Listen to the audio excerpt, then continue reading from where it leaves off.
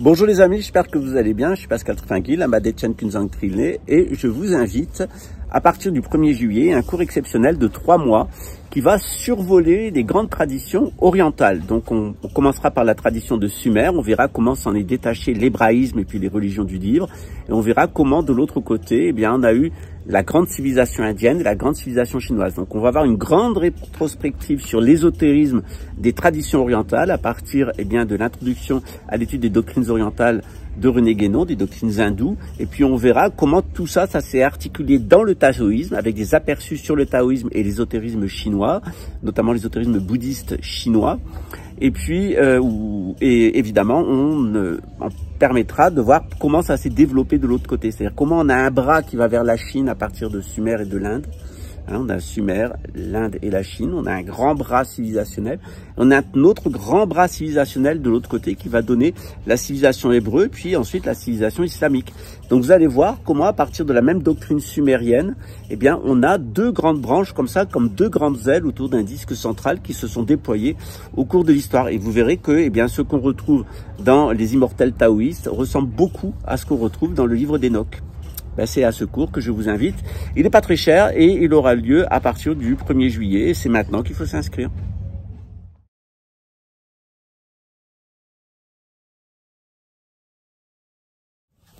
Bonjour les amis, j'espère que vous allez bien. Je suis Lama Chen Kunzang Tringle. Je vais vous la jouer en Bouddha allongé euh, pour aborder eh bien, le deuxième thème euh, de notre investigation des actes incommensurables. On a vu que le mensonge, il y avait deux types de mensonges. Il y a le mensonge complètement égocentrique et narcissique et il y a le mensonge schizophrénique. C'est quand la personne se prend pour une entité ou plusieurs entités. Mais en réalité, ça arrive seulement lorsque la personne a oublié sa nature Bouddha. C'est-à-dire, soit elle va se concrétiser par rapport à un ego. Cet ego, il va fonctionner sur la dualité, moi et les autres. Il va vouloir imposer sa volonté. Il va se fier qu'à son expérience ou ce qu'il reconnaît une expérience valide. Il va être très formaliste et il va passer constamment de la tempête émotionnelle, les émotions perturbatrices, les cléchats, à la froideur émotionnelle totale. Et il y a les personnes qui sont schizophrènes, donc eux c'est des individualités multiples, hein, comme dans le film, fragmentées, défragmentées. Bien entendu, euh, ce trouble euh, de l'ego et ce trouble de la personnalité multiple, il, il va euh, aboutir sur un autre trouble, et cet autre trouble, c'est le trouble de l'appropriation illégitime, et c'est ce qu'on va voir maintenant.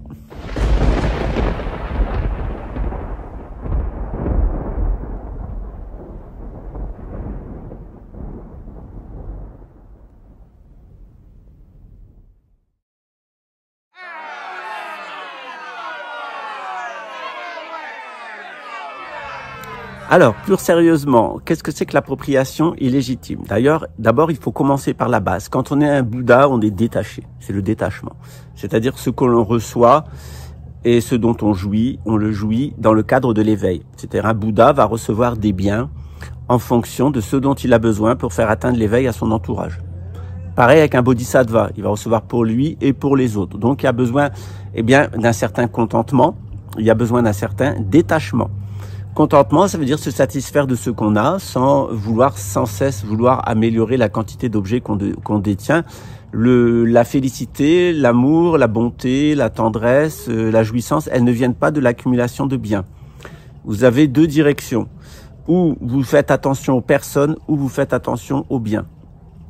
Qu'est-ce qui a le plus de valeur pour vous? Les biens ou les personnes? Et vous avez remarqué que dans la vie, très souvent, c'est très tranché. Il y a des personnes qui en ont que pour les biens et qui s'en foutent des autres, et des personnes qui en ont que pour après, que pour les autres, et qui en ont rien à foutre des biens.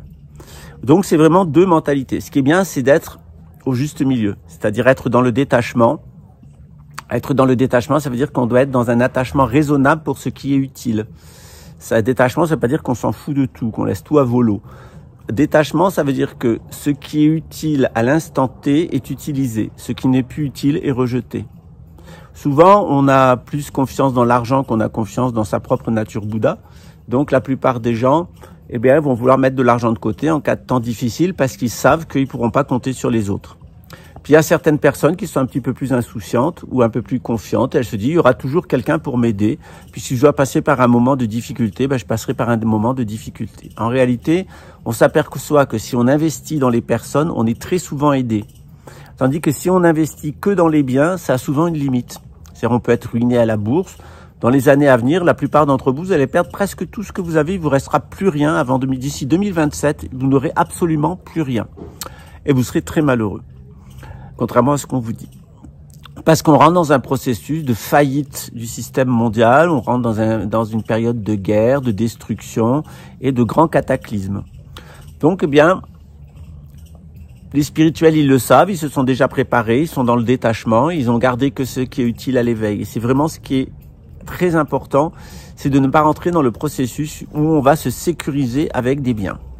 Une fois qu'on est sorti de ce premier processus, hein, le processus est bien de l'accaparement pour se rassurer, on va voir quels sont les moyens de s'approprier. Alors on s'aperçoit qu'il y a deux moyens d'appropriation, l'appropriation légitime et l'appropriation illégitime, ou grosso modo ce qu'on appelle le vol, le cambriolage et l'arnaque.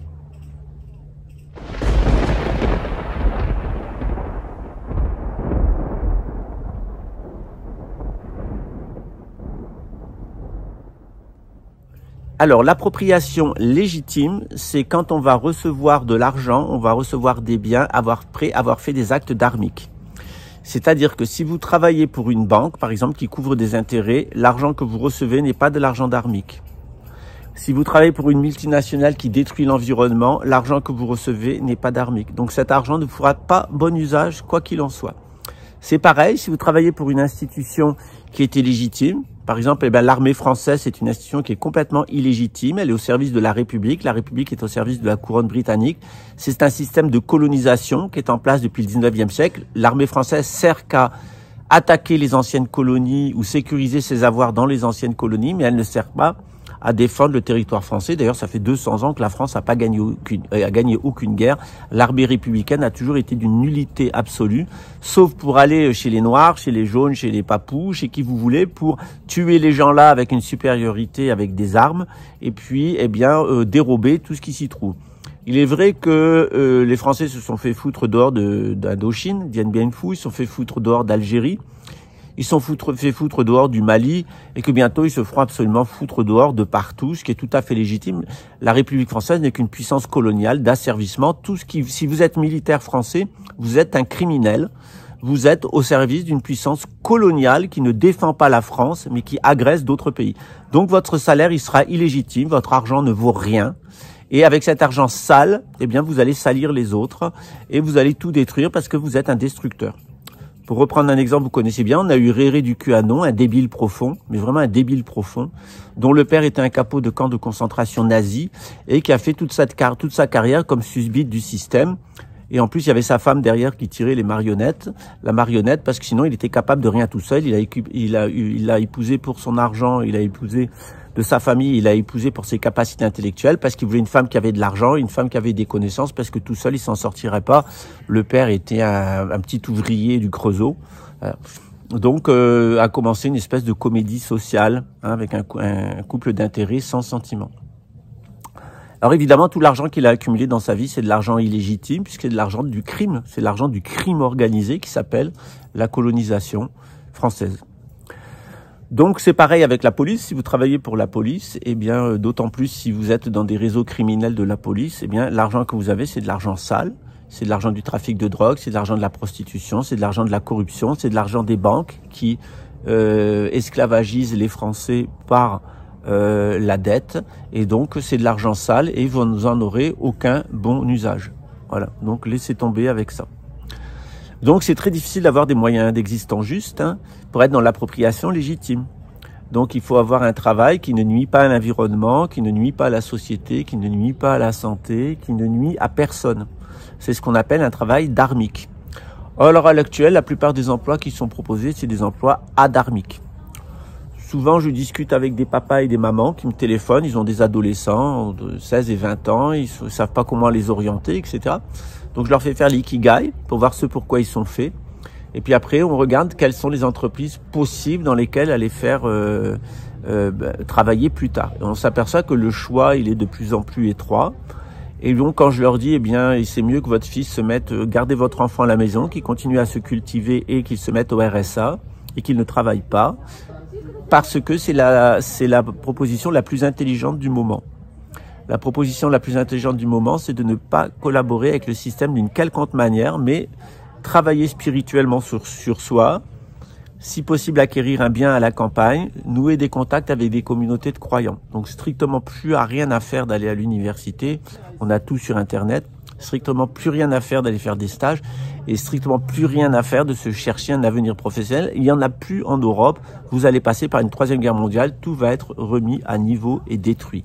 Donc c'est parfaitement inutile. Donc on voit que de l'appropriation de détachement, on est passé à l'attachement juste, puis on est passé à l'appropriation légitime, et maintenant on va aller dans l'appropriation illégitime. Qu'est-ce que c'est l'appropriation illégitime? Eh bien, c'est euh, vouloir dérober aux autres ce qui n'est pas à soi. Sur notre projet, on a euh, trois psychopathes, un pédophile, une infanticide et une prostitueuse d'enfants, euh, qui ont décidé de vider les caisses du restaurant, enfin de l'éco-village pour alimenter les restaurants dans lesquels ils avaient investi. Puis après, ils ont dépensé des centaines, presque 100 000 euros pour poursuivre tout le monde. En vain, ça leur rapportera absolument rien. Ils vont se faire ridiculiser. Ils ont une plainte au cul pour tentative d'assassinat qui est parfaitement documentée, qui est dans les plus hautes autorités fédérales. Ils sont passés par un procureur. Le procureur, il a impliqué dans l'assassinat de Marielle Franco. Donc ce procureur ira en prison, tous les actes de procédure seront annulés, mais ils continuent à leur cercle de psychopathes parce que elles sont complètement droguées aux médicaments, ils sont dans une espèce de folie.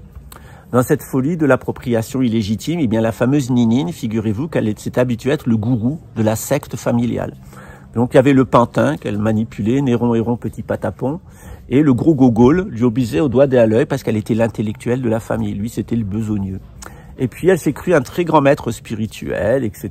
Puis dernièrement, elle s'est mise à attaquer au tribunal tous les gens qui continuaient le processus spirituel avec moi. Donc il y avait toute une série de personnes qu'elle pouvait poursuivre si elle en avait envie. Elle a sélectionné que trois personnes qui continuent à suivre le processus spirituel dans notre temple. Pourquoi elle fait ça? Parce qu'elle veut me montrer qu'elle est la plus forte. Elle est cinglée complètement cinglée du ciboulot. Elle a toujours été baisée par son père, baisée par le curé du village. Sa mère lui a dit d'aller se faire foutre, il a bourré de médicaments. Elle a passé une vie de merde avec un mari épouvantable, des enfants mal élevés qui la respectaient pas, droguée à coups de médicaments, infanticide, criminelle, menteuse, voleuse, folle, psychopathe, entendant des encodeurs qui lui parlent dans l'espace et qui planifient tout parce qu'après Raymond a des rêves. Ah. Donc, alors, euh, sa dernière euh, pantomime, c'est euh, d'attaquer les personnes qui sont autour de moi pour leur montrer, pour les punir de continuer à suivre l'enseignant spirituel Pascal. Parce qu'elle, la grande enseignante spirituelle Ninine, voulait faire sa chaîne ils ont jeté une pierre en l'air, ils l'ont photographié, ils ont dit que c'était un ovni. Elle nous a raconté la mémoire des eaux. Ce petit papillon noir, c'est moi, je suis noir, jusqu'au fond de l'âme, je suis complètement cinglé, psychopathe. C'est la noirceur, mais c'est l'amour, disait Gogol. C'était l'amour comme quand il baisait sa fille de 12 ans. Voilà. Donc vous voyez, c'est des grands cas psychiatriques. Et généralement, on ne finit pas dans cet état de déchéance totale si ça n'a pas commencé mal. Et ça a commencé par un attachement excessif au bien. Ça a commencé par une absence de détachement. Lui, il voulait de l'argent. Il voulait plus être pauvre comme son père. Il fait un fils d'immigré qui cachait le secret du travail dans un camp de concentration, d'extermination. Donc il voulait continuer son chemin euh, dans la vie, avec euh, dans l'accaparement. Il voulait de l'argent. Donc il a accaparé cette femme qui était folle pour s'accaparer derrière l'argent de sa famille. Ça n'a pas fonctionné, ça ne fonctionne jamais pour Eric Non, il n'a jamais été général. Il s'est fait baiser à Tahiti, etc. Cela apprendra à baiser sa fille. Et il va se faire baiser au Brésil de la même façon. Sauf qu'il continue sa stratégie. Donc, au début, c'était de l'attachement. C'est devenu de l'appropriation illégitime. Et à la fin, c'est devenu carrément une stratégie de m'assassiner pour me dépouiller. Et pour y arriver, il est allé chercher la mafia. Sauf qu'il est tombé dans une grande opération de police qui vise le procureur qu'il est allé chercher, qui vise son avocat, qui le vise lui et qui vise le commissaire de police et qui est allé porter plainte avec tout un groupe de personnes. Il a plus de plus de 35 personnes pour aller faire des fausses plaintes contre moi. Il y en a certains qui euh, sont revenus sur leur déclaration auprès de la police et puis dans un autre procès, ils ont été démasqués en tant que menteurs, notamment une espèce de grosse noire complètement hystérique du vagin, une défoncée du vagin, euh, et puis son frère qui travaille pour la mafia et qui est un vendeur de drogue, qui actuellement d'ailleurs euh, gère le, notre ancien restaurant. Voilà, où le trafic c'est un supermarché de la drogue. Voilà. Donc bah, le restaurant était rouge, il est devenu vert. donc on est dans un processus satanique. C'est-à-dire nous on a créé un truc spirituel Ils sont arrivés par la haine, par la ruse, par le mensonge à nous déloger, puis installer un truc complètement satanique qui est basé sur le trafic de drogue, sur la prostitution. La fille se prostitue là. C'est un supermarché de la drogue à ciel ouvert. Et c'est complètement lié à la mafia. Ça finira très mal. Et tout ce petit monde va partir au, placard, ainsi que le lupanar à Ipanema, où elle prostitue des enfants. Donc on voit bien que dans la vie, non seulement il faut être euh, vrai, vis-à-vis de soi, être centré. Et quand on a été décentré par des viols, parce que que ça soit Ninine ou que ce soit Mumu ou que ça soit Réré du Canon, les trois, ils ont eu connu des abus pédophiles. Le, le père de Réré le violait, lui, son frère et sa sœur. Ils rigolaient à savoir qui allait payer ce soir-là. La Mumu, elle a été violée et prostituée par son père. Et la Ninine, elle a été violée par son père et le cure du village. Donc, c'est trois cas psychiatriques très, très lourds plus dessus du médicament et du médicament, donc des drogues légales, mais des drogues toute la vie. Et à la fin, des gens qui sont partis dans une carrière infernale et criminelle, euh, et qui attaquent, qui attaquent, qui attaquent, et qui sont en fait en train de regrouper des gens pourris autour d'eux et au final, tous les gens qui ont été là, ils sont dans l'appropriation illégitime. Ils sont, mis avec des, gens qui sont dans l'appropriation illégitime. Et tout ça va se dynamiter et tomber comme un millefeuille. Mais pour le moment, il faut les laisser monter, monter, monter, monter, monter, monter, monter. Ils sont fait arnaquer par un avocat qui leur a piqué pas loin de 100 000 euros pour diverses procédures qui aboutiront à rien parce qu'ils n'ont pas tenu compte d'un élément qui était assez important. Ben, tant pis pour eux. Voilà, ils ont fait faire des faux témoignages, ils m'ont demandé 20 ans de prison, 12 ans de prison, 8 ans de prison, et puis la nini, la folle, la folle complètement cinglée. Sauf que on a toutes les preuves que c'est elle qui administrait l'éco-village, on a toutes les preuves que c'était lui qui administrait les restaurants, et on a tout, et on a plein de personnes qui indiquent exactement ce qui s'est passé. Donc, ils vont finir par être sanctionnés dans ce, ce, en fait, qui les a déterminés depuis l'enfance, depuis l'enfance, ils ont été appropriés de façon illégitime. C'est-à-dire que quand le père de Mumu de Marseille la baise avec ses copains, quand Ninine se fait défoncer par son père et se fait défoncer euh, par le curé du village, quand Réré se fait défoncer par son père, lui, son frère et sa sœur, c'est tout un groupe de, gens qui ont souffert de la pédophilie, qui sont d'ailleurs devenus pédophiles eux-mêmes et infanticides, et qui sont rentrés dans un schéma de déchéance vers l'appropriation illégitime. Donc une fois qu'on est dans l'appropriation illégitime, eh bien, euh, les gens qui sont dans l'appropriation illégitime, ils ont toujours l'impression qu'ils vont perdre leur bien. Il y a une espèce de paranoïa permanente de la perte du bien. Ils sont dans l'attachement à ce qu'ils ont volé, à ce qu'ils ont acquis. Il y a un énorme attachement par rapport à l'argent. Il n'y a aucun lâcher-prise par rapport à l'argent. Moi, j'ai été des dizaines de fois avec, avec eux au restaurant. Ils payaient jamais. Et quand c'était eux qui payaient, ils prenaient un repas pour deux. Alors qu'il a une bonne retraite. Donc, ça vous dit le niveau de pingrerie. C'était même des fois ma tante qui payait pour eux. Vous voyez le niveau de déchéance de ces personnes-là. Et puis au final, eh bien, leur appropriation illégitime, il la sécurise, il la sécurise, il la sécurise, jusqu'à après euh, vouloir tuer quelqu'un et dépouiller un groupe de personnes et vouloir tuer quelqu'un qui s'est montré généreux avec eux, et à la fin, non seulement me détruire, me m'assassiner, de par tous les moyens et me piquer tous mes biens. S'il pouvait piquer aussi les biens de mon père, de mes cousins, il le ferait aussi, parce que c'est ce qu'a fait le père de Réry du Canon dans le camp de concentration de Bielawa, Langues-Bilo. Ils ont déporté ces juifs sur de fausses accusations, ils les ont maltraités, ils les ont torturés, ils les ont euh, empoisonnés, et après ils les ont exterminés pour pouvoir les déposséder. Donc en réalité, Réry du Canon ne fait que répéter exactement le schéma familial. Il avait un père pédophile, il est pédophile. Il avait un père menteur, il est menteur. Il avait un père voleur, il est voleur. Il avait un père assassin et criminel. Il est lui-même assassin et criminel. C'est un conditionnement permanent. C'est-à-dire jamais ils trouvent leur nature Bouddha. Ils sont toujours avec cet anneau autour de construction samsarique. Jamais dans la nature Bouddha et toujours dans la construction samsarique. Donc à partir du moment où vous enfermez en permanence dans la structure samsarique, il y a un moment où la nature Bouddha se retire complètement. Et vous devenez plus qu'un être résiduel. Et à ce moment-là, quand vous êtes devenu un être complètement résiduel, vous avez ce qu'on appelle le dessalement des cinq agrégats.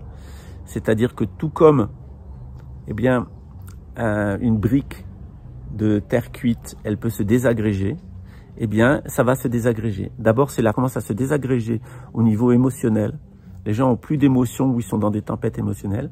Après, ça commence à se désagréger au niveau physique, avec une grande déchéance au niveau physique.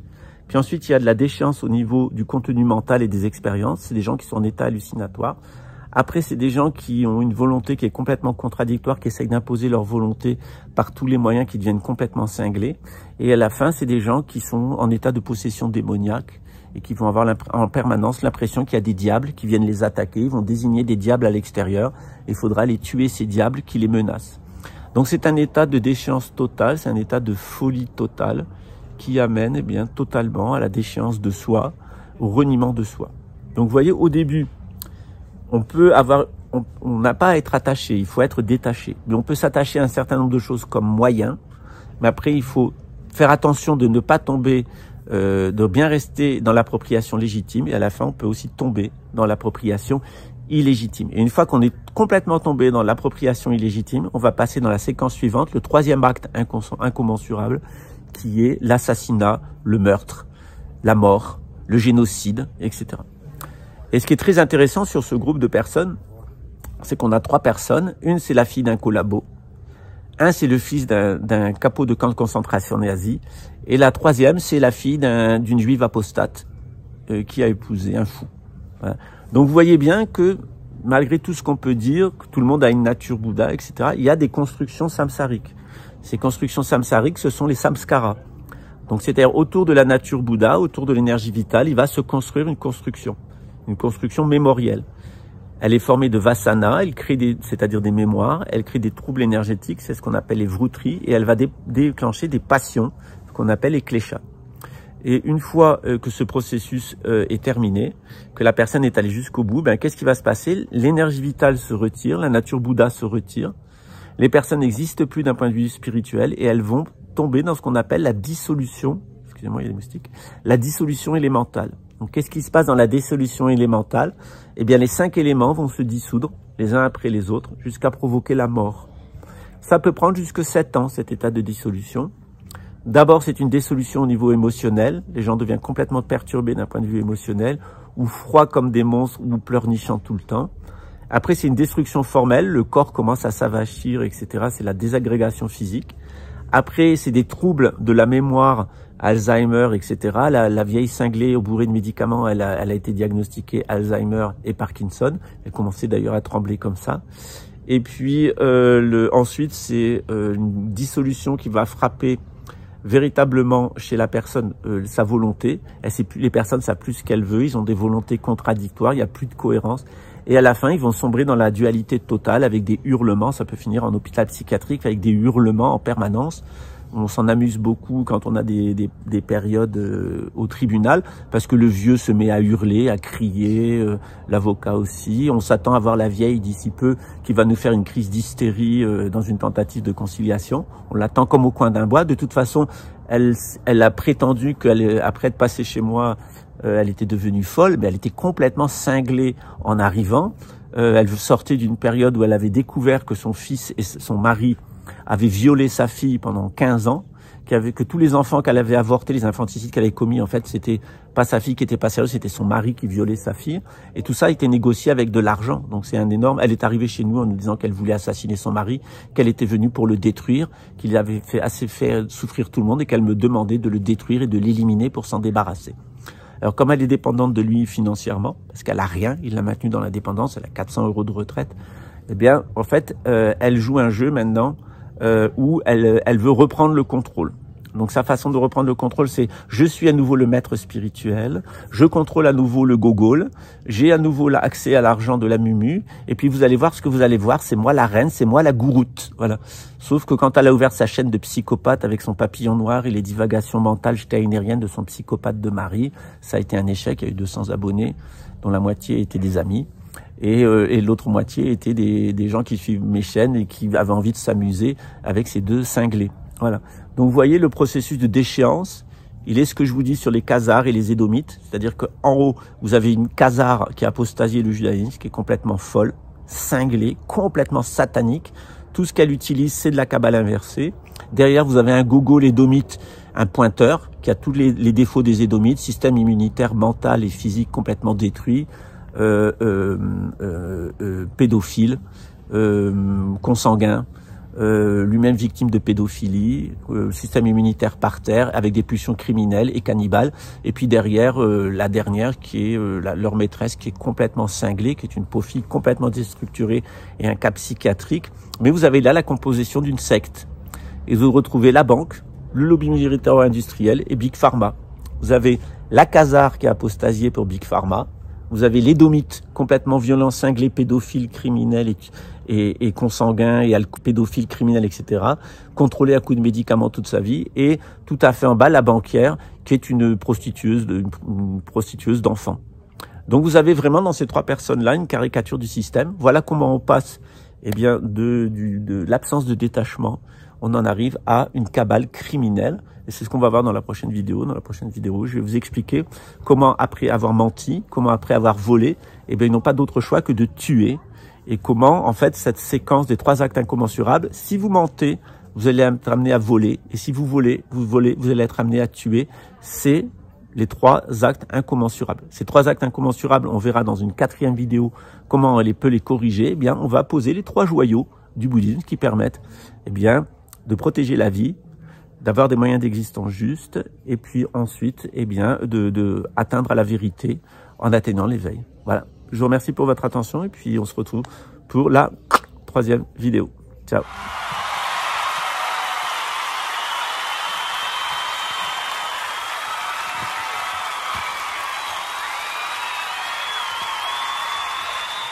Je vous remercie pour votre attention. J'espère que cette étude des trois incommensurables vous plaît. Vous plaît, pardon. En plus, on continuera en expliquant eh bien les trois joyaux, c'est-à-dire quels sont les antidotes. Quel est l'antidote Eh bien, du mensonge? Eh bien, c'est le Bouddha. Le Bouddha nous dit la vérité et nous amène à la vérité. Quel est l'antidote du vol? Eh bien, c'est le dharma, savoir des actes moraux. Et quel est l'antidote Eh bien, de l'assassinat, du meurtre? Eh bien, l'antidote, c'est la Shanga, c'est la communauté bouddhiste. Donc, par ces trois joyaux, on a les antidotes aux trois incommensurables. Ça veut dire que même si on vit dans un monde qui est gouverné par la pharmakeia, Big Pharma, le monde occidental, par le lobby militaire industriel et ses gogoles mercenaires, euh, euh, miliciens et, autres pseudo-juges et collecteurs d'impôts, même si on vit dans un monde qui est complètement gouverné par des banksters pédophiles, eh bien, on a, grâce au bouddhisme, trois instruments qui nous permettent eh bien de corriger et de nous protéger nous, c'était intéressant pour nous parce qu'on a ouvert un centre thérapeutique et on a vraiment eu des gens qui avaient le maximum de toutes les de toutes les problématiques maximum. C'était vraiment les, les rebuts de l'humanité dans tous les domaines. Et pour certaines personnes, ça a très bien fonctionné. Ils s'en sont sortis. Et on a des gens qui viennent de Big Pharma, du lobby militaire industriel et de la banque qui s'en sont bien sortis. Et puis on a, pour qui ça, ils s'en sont pas sortis du tout. Ça a empiré leur état. Ils sont devenus complètement dingues, criminels, menteurs et voleurs. Et ils vont aller jusqu'au bout de leur stratégie, jusqu'à s'en prendre au Dharma, euh, au Bouddha lui-même. Euh, il y aura rien d'étonnant. Ils s'en sont pris à la Shanga, ils s'en prennent au Dharma et au, final ils s'en prendront au Bouddha lui-même. Euh, parce qu'ils sont des fous, parce qu'ils sont des haineux et parce qu'en réalité ce qu'ils cherchent c'est leur destruction. C'est-à-dire inconsciemment ils s'en rendent pas compte. Ce qu'ils veulent c'est qu'on les assassine eux après les avoir volés et après leur avoir menti. Parce que c'est exactement ce qu'ils font et ils vont avoir le choc en retour. Et en règle générale, ces personnes-là, elles sont tellement habituées à mentir, elles sont tellement habituées à voler, elles sont tellement habituées à tuer. Là, c'est une telle impunité pour ce trio infernal tout au cours de leur existence que à chaque fois, ils montent la barre plus haut. Et donc là, la barre plus haut, ça a été de rentrer dans un groupe mafieux qui s'appelle la Ligue de la Justice, jusqu'à eh bien tomber dans une énorme opération de police qui, eh bien, euh, dont on verra les conclusions dans quelques semaines. Mais sachez que le Brésil, je ne veux pas vous donner une mauvaise opinion du Brésil, ni de donner une mauvaise opinion des éco-villages. Il y a des, on a plein de personnes qui sont installées autour de nous et ça marche bien. Finalement, on est un grand éco-village, mais on n'est pas concentrés tous ensemble. On est dans des endroits différents du Brésil et c'est très bien.